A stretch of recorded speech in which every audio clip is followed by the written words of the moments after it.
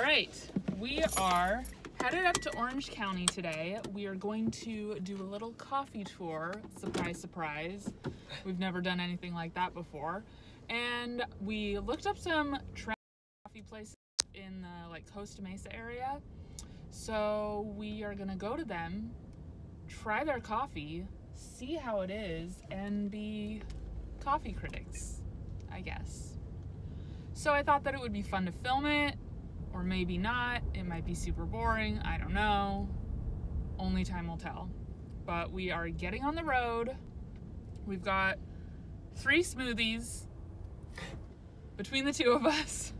So we should be fueled and ready for adventure. So we'll check back in with you in a little bit.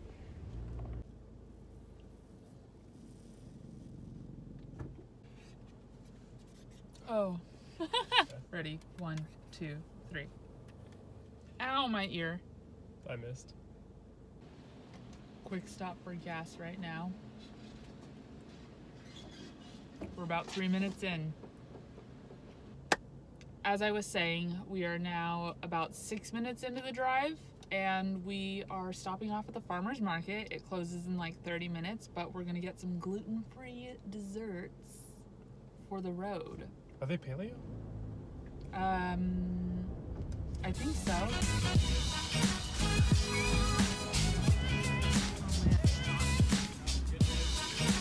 our cupcakes.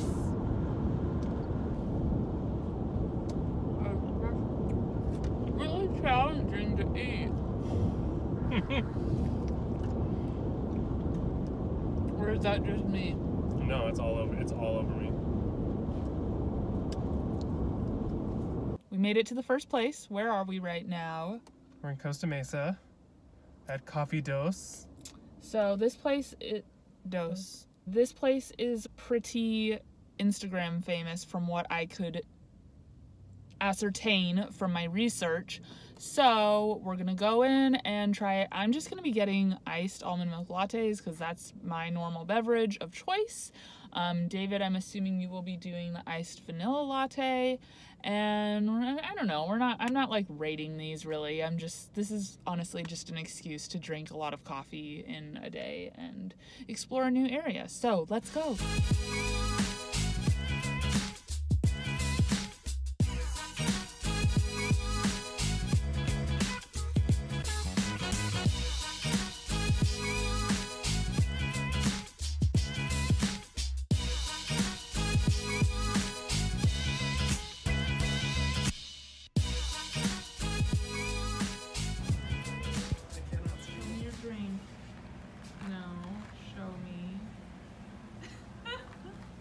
Okay, we got our first coffees, and it was kind of weird. Um, it was like half coffee shop, half hair salon, and there wasn't really any seating on the inside because it was all reserved for the hair salon. And I don't know, they were not super cordial, so we kind of wanted to get out of there and not hang around too long but but the coffee's pretty good but it's funny because they use coffee i don't know about their espresso but the coffee that they use is from a roastery that is on our list for the day so it may end up tasting exactly the The same.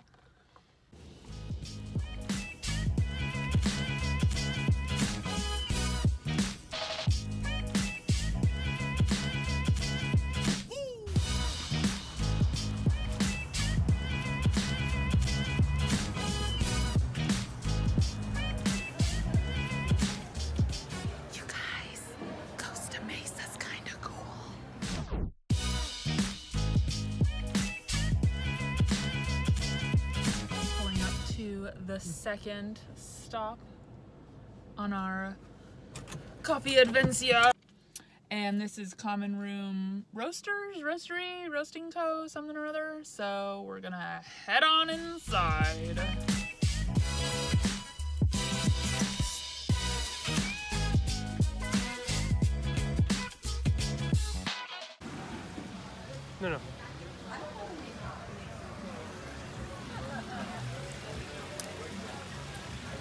These are good. So we stopped off for lunch. We're at a place called Bear Flag Fish Co. I've seen it on the gram before, so that's how you know it's good. We both got fish burritos, which I'm really looking forward to because I am starving.